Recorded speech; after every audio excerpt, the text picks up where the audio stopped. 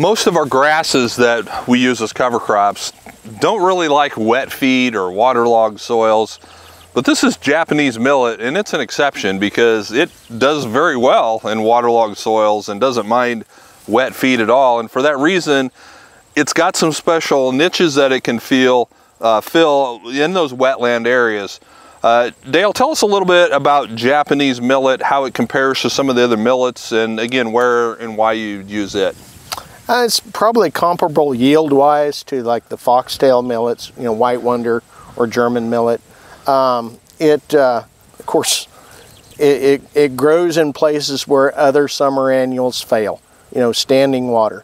The seed can also be broadcast pretty well into, into mud flats uh, where everything else needs drilled pretty much. So that's, that's a bonus, the fact that it can be broadcast.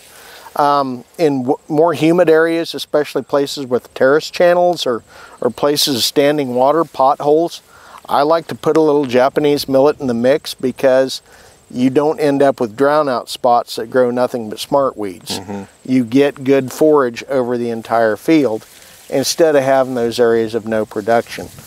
Seed's also pretty good wildlife value. Ducks really like it, as you might expect. In fact, the biggest user of this is the the uh, waterfowl yep. industry.